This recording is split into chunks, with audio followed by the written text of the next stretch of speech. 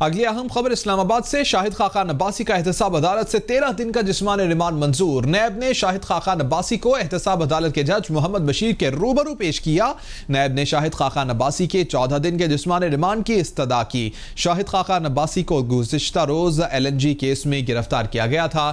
NAB کی جانب سے بتایا گیا، آپ کیا کہنا چاہیں گے؟ جج احتساب عدالت کی جانب سے شاہد خاقان عباسی سے استفسار کیا گیا۔ شاہد خاقان عباسی نے کہا کہ چاہتا ہوں کہ آپ نوے دن کا جسمانی جسمانی ریمانڈ دیں تاکہ نیب کو ایل این جی کیس سمجھا دوں انہوں نے کہا کہ ابھی تک نیب کو ایل این جی کیس سمجھ نہیں آ سکا ہے۔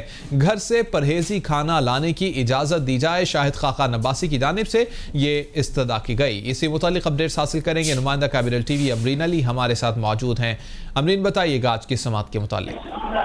جی بالکل، شاہد خاقان عباسی کا تیرہ روزہ جسمانی ریمانڈ منظور کر لیا گیا ہے۔ جب احتساب عدالت نے ریمارک کیا کہ نیب والے آپ کو پرہیزی کھانا بنا دیں گے، شاہد خاقان عباسی کا کہنا تھا کہ گھر سے پرہیزی کھانا لانے کی اجازت دی جائے۔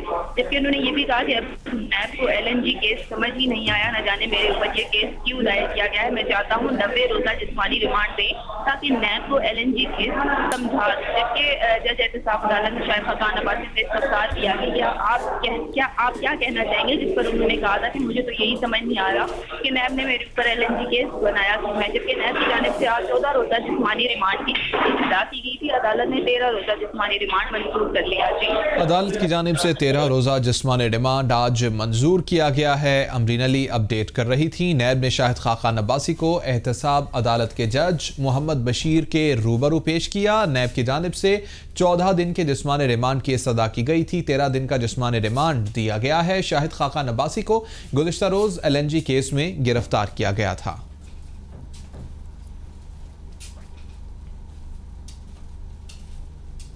آپ نے کون سی کک بیکس لی جس پر گرفتار کیا گیا؟ شاہد خاقان عباسی سے صحافی نے سوال کیا۔ یہ تو نیب ہی بتائے گا۔ سابق وزیراعظم شاہد خاقان عباسی نے جواب دیا۔ الزام تو بتائیں کہ مجھ پر الزام کیا ہے۔ الزام نہیں بتایا جا رہا۔ شاہد خاقان عباسی کی جانب سے کہا گیا کہ یہ کیس دو ہزار پندرہ میں بنا اور ختم کر دیا گیا دوبارہ کیس بنایا جا رہا ہے۔ سابق وزیر اعظم شاہد خاقہ نباسی کی پیشی کے موقع پر میڈیا سے غیر رسمی گفتگو، غیر رسمی گفتگو کرتے ہوئے ان کی جانب سے یہ کہا گیا کہ الزام تو بتائیں کہ مجھ پر الزام کیا لگایا گیا ہے، الزام نہیں بتایا جا رہا۔ صحافی نے سوال کیا کہ آپ نے ایسی کون سی کک بیکس لیں کہ جس پر یہ گرفتاری عمل میں لائی گئی ہے؟ شاہد خاقہ نباسی نے کہا کہ یہ تو نیب ہی بہتر بتائے گا۔ وزیر اعظم سابق وزیر اعظم شاہد خاقان عباسی جن کو عدالت میں پیش کیا گیا، صحافیوں کی جانب سے غیر رسمی گفتگو کی گئی، کچھ سوالات کیے گئے، جن کے جوابات شاہد خاقان عباسی نے دیے۔